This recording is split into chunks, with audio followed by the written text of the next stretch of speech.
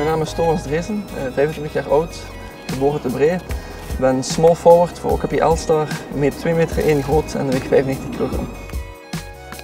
Mijn naam is Arne Stijnbach, geboren te Gent. Ik ben guard bij OKP Aalstar, 1,80 meter groot.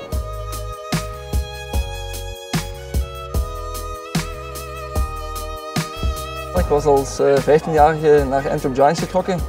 Dan na drie jaar jeugd eh, toch de kans gekregen als prof te kunnen fungeren. Um, drie jaar contract kunnen tekenen bij de Giants, maar dan toch na uh, één jaar met uh, overeenkomst met de club toch verbroken. Ik heb eigenlijk uh, dan helemaal geen concrete aanbiedingen gehad in België. Ik kon wel in de derde divisie blijven, maar ik wou die stap hogerop toch doen.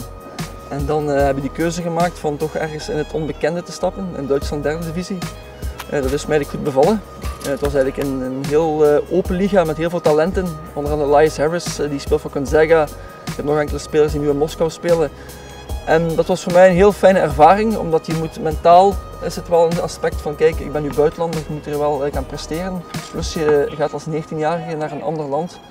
Um, levenswijzen is toch wel een beetje aanpassen. Maar ik heb me daar goed uh, kunnen doortrekken en dan toch, toch nog drie jaar in Duitsland kunnen blijven.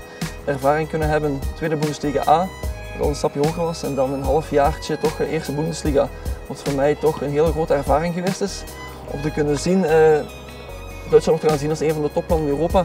Uh, om toch in zo'n grote liga toch een keer te kunnen kijken van uh, waar sta ik zelf uh, lichamelijk, fysiek, mentaal en natuurlijk ook spelniveau. En dat is toch wel een heel grote leerschool voor mij geweest. Hè.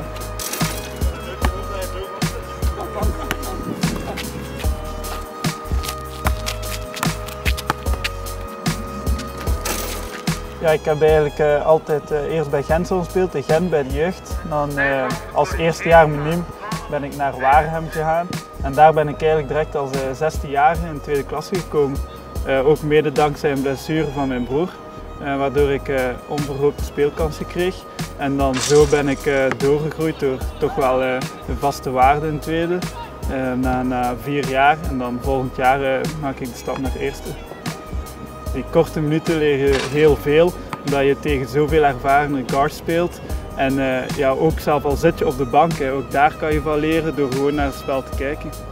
Dus uh, elk minuut dat je krijgt, moet je als jonge Belg, en ah, het, gegeven dat wij nu in België hebben, moet je er toch wel gebruik van maken. Je kan België eigenlijk vergelijken qua grootte met Litouwen. Litouwen is een heel klein land in Europa.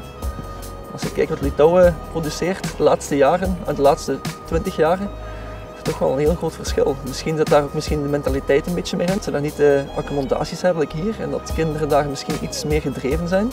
Als je in België zit, heb je van jonge leeftijd, moet ik zeggen, toch wel een goede fundamentele school.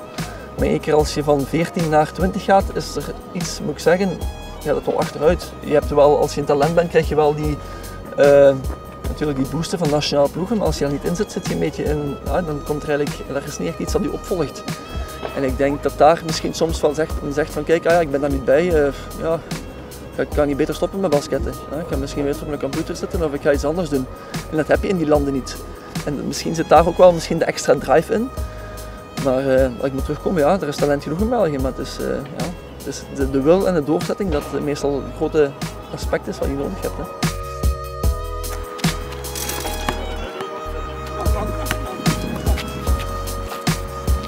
Als je talent hebt, maar vooral ook heel hard werkt, eh, dan ga je zeker opvallen en dan ga je kansen krijgen. Ik denk dat je gewoon niet mag opgeven en er eh, altijd voor moet gaan. Het Belgian Got Game Tournament, dat dat inderdaad iets is waar eh, alle Belgen zich kunnen tonen. Ehm, vorig jaar, ik was er zelf niet bij, maar ik heb de clubjes gezien en het niveau was inderdaad wel heel hoog. Dus ik denk dat dat wel bewijst dat er Belgisch talent genoeg is. Uh, het is de tweede maal dat ik ga meedoen. Ik heb vorig jaar de eerste die ook mogen meedoen. Uh, dat was iets nieuws. Dat was een, een heel leuke boost voor iedereen. Maar ik vind het een, een toernooi waar je kan laten zien van kijk, uh, ja, we spelen tegen we spelen tegen we spelen tegen Donker. Er zijn gasten bij spelen, misschien in de tweede divisie, derde divisie, zullen zeggen van kijk, ja, vandaag heb ik de kans, ik ga laten zien aan die gasten dat ik ook iets kan. Ik was vroeger ook blij als ik bij de Antwerp Giants op lijn kwam en ik kon tegen een Kularac of tegen een Matella spelen. En ik zei, ah, vandaag ga die mannen pakken en ik ga laten zien dat ik het ook kan. En ik vind dat deze generatie dat ook moet doen. En ik vind het fijn dat like, Jannie Driesen, De Zeeuw, uh, Wema en dan jongens uit Leuk, like Jarosevic, Gillet, dat die allemaal eh, naar Antwerpen komen. En dat eh, iedereen toch wel kan laten zien wat eh, iedereen zijn macht heeft.